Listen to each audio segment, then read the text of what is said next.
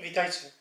Zaczął się sezon grzybowy, grzybów jest naprawdę mnóstwo, no i powstaje problem, co z częścią z nich zrobić, albo jeżeli nawet mamy pomysł, co zrobić z tymi grzybami, które wyglądają ładnie albo bardzo ładnie, to często nie wiemy, co zrobić z grzybami, które są albo le lekko wygryzione, albo jeżeli mamy grzyby, które mają trochę robaków w sobie, wtedy często e, Znam ludzi, którzy wyrzucają całe grzyby, znam ludzi, którzy korzystają tylko z kapeluszy, a nie korzystają z nóżek, zostawiają te nóżki w lesie albo te nóżki dopiero później w domu wyrzucają, a to wszystko produkty, z których możemy skorzystać i z których możemy przygotować bardzo ciekawe rzeczy.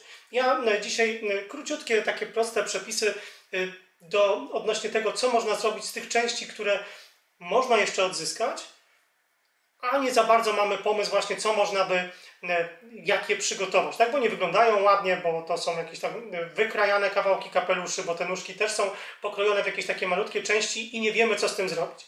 Ano, sposób jest bardzo prosty. E, przede wszystkim należy takie grzyby wysuszyć, tak? Tutaj mam miseczkę, w której znajdują się wysuszone kawałki maślaków. Tutaj mam podgrzybki i chyba jednego kozaka, to zresztą nieważne. Chodzi tylko o to, jakie grzyby macie, z takich będziemy, będziecie korzystali. Tutaj mam natomiast miseczkę z samych prawdziwków. Tu akurat prawdziwkom nic nie brakowało, ale było ich na tyle dużo, że stwierdziłem, że część z tych prawdziwków mogę poświęcić właśnie do tego celu. I co chciałbym dzisiaj przygotować? Przygotować chciałbym przede wszystkim masło. Masło jak najbardziej bierzemy zwykłe nasze, jakie tam macie. Jeżeli macie jakieś fajne mm, wiejskie, to jak najbardziej. Jeżeli nie, no to kupcie takie, jakie akurat macie dostępne. I co? I co z niego zrobimy? Zrobimy masło grzybowe. Masła ziołowe są dość popularne, natomiast bardzo łatwo przygotować takie masło grzybowe. Do czego, co do tego będzie potrzebne? No oczywiście, tak jak już wspomniałem wcześniej, masło, a tą drugą rzeczą to grzyby. No, grzyby ususzone, ale grzyby ususzone tak w całości, jakbyśmy je tutaj powkładali, to nie e, byłoby, nie byłoby najlepszym pomysłem. No, słychać, że one trzeszczą, więc są dobrze wysuszone. E, co trzeba z takimi grzybami zrobić po ususzeniu? No oczywiście trzeba je rozdrobnić. No i lepiej zmielić. Zmielić na przykład w młynku do kawy.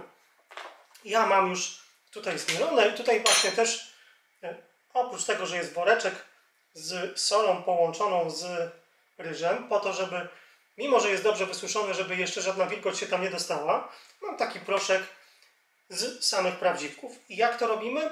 Otóż do takiego masła najlepiej y, tych grzybów dodawać jedną porcję mniej niż, e, znaczy połowę mniej e, grzybów niż masła. Czyli jeżeli wzięliśmy dwie łyżki masła, czy tam pół kostki masła, zobaczymy ile to objętościowo wygląda, to połowę mniej grzybów. Ja mam tutaj dwie łyżki masła, czyli do tego mojego masła dodam jedną łyżkę grzybów. Jeżeli masło macie odpowiednio mięciutkie, to tak naprawdę nawet tutaj w takiej zwykłej miseczce spokojnie łyżką sobie je rozdrobnicie. Wymaga to oczywiście troszeczkę czasu. Ja nie będę tego przygotowywał tutaj całego, bo ja mam masło już gotowe. Chcę tylko, żebyście wiedzieli, jak to mniej więcej rozdrobnić. Możecie to włożyć do moździerza, możecie to rozcierać w jakiejś innej miseczce, możecie to e, pozostawić w jakimś, nie wiem, tam, mikserze, który za Was to wszystko zrobi. Masło, tak jak mówiłem, jeżeli jest odpowiednio miękkie, wcale długo nie trzeba tego robić i masło prawdziwkowe jest gotowe. Dla osób, które nie boją się używać soli, to do takiego masła z prawdziwkami polecałbym dodać jeszcze kapkę, nie dużo, ale naprawdę niewielką ilość soli, która podbije smak tego masła, a nie zaszkodzi.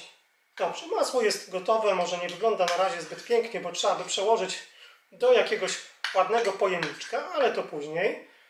Czyli co? Pierwszy sposób to bardzo szybkie przygotowanie masła grzybowego, w tym wypadku masło z prawdziwków. Jeżeli znajdziecie kanie, no to te nóżki też zabierzcie ze sobą, ususzcie z y, kapeluszy przygotujecie świetne kotlety, czy flaki, czy jakieś inne e, wyśmienite rzeczy, a z nóżek możecie po wysuszeniu, po rozdrobnieniu przygotować właśnie przepyszne masło. To jest jedna z propozycji. Druga propozycja jako sól. Znowu, sole ziołowe są bardzo popularne, natomiast nic nie stoi na przeszkodzie, żeby przygotować sól grzybową. No i ja mam tutaj znowu odmierzone dwie łyżki soli kłodawskiej akurat, no bo taką miałem. Jeżeli macie inną, to przecież nie stoi nic na przeszkodzie. Może być ona gruboziarnista, może być drobnoziarnista, może być w ogóle taka w pył zmielona. To już wszystko zależy od tego, jaką tą sól chcecie. Oczywiście, jeżeli będziemy mieszać ją za chwilę z takim pyłem grzybowym, to dobrze by było, żeby to y, te grzyby i ta sól była mniej więcej jednakowej wielkości, żeby one się ładnie połączyły. Natomiast w moździerzu, jeżeli macie drobnoziarnistą sól, sól, sól to możecie ją spokojnie tutaj rozdrobnić jeszcze bardziej w pył, dodać grzybów. Ja najpierw chwilę rozdrobnię, zaraz się zobaczymy. No dobrze, rozdrobniona i znowu ja daję w proporcji 1 do 2. Jedna porcja grzybów na dwie porcje soli. Skoro miałem e, dwie łyżki soli, to biorę jedną łyżkę moich grzybów. I znowu ucieramy dalej. I sól grzybowa gotowa. Znowu, w zależności od tego, jakich grzybów użyjecie, taka to sól będzie. U mnie, jak zwykle, jak już mówiłem przy maśle, prawdziwkowa, ale jakiekolwiek grzyby, jakie macie, jakie resztki Wam pozostały, z tego możecie zrobić. To są też tak naprawdę pełnowartościowy, to jest pełnowartościowy produkt i można z niego skorzystać i wykorzystać bardzo dobrze. Tutaj mam przygotowaną taką sól ziołową już. E, mam nadzieję, że widzicie. To jest bardzo ładnie połączone prawdziwki e, z e, akurat właśnie z solą kłodawską do wykorzystania, do czego chcecie. Jeżeli macie ochotę wykorzystać do jakiejś potrawy na ciepło, nie ma problemu. Jeżeli chcecie na zimno, świetna sprawa, do jakichś sałatek, do jakichś innych tego typu rzeczy. No i trzecia, chyba najważniejsza rzecz, bo jak zrobicie sobie trochę tego grzyba, tych grzybków suszonych i je zmielicie, no to tego zostanie. I co z tym zrobić?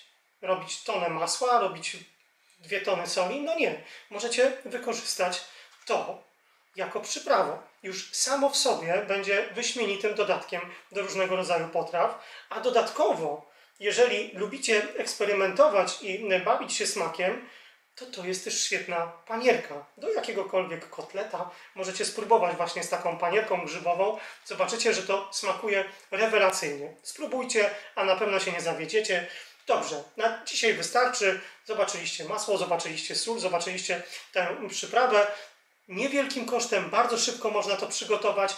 Nie trzeba wyrzucać tyle tych grzybów, które wydawałoby się, że się nie nadają, bo nie ma, są najładniejsze, nie prezentują się tak ładnie, jakbyśmy chcieli. Skorzystajmy i wykorzystajmy je w inny sposób. Na dzisiaj to wszystko. Do zobaczenia. Hej, hej!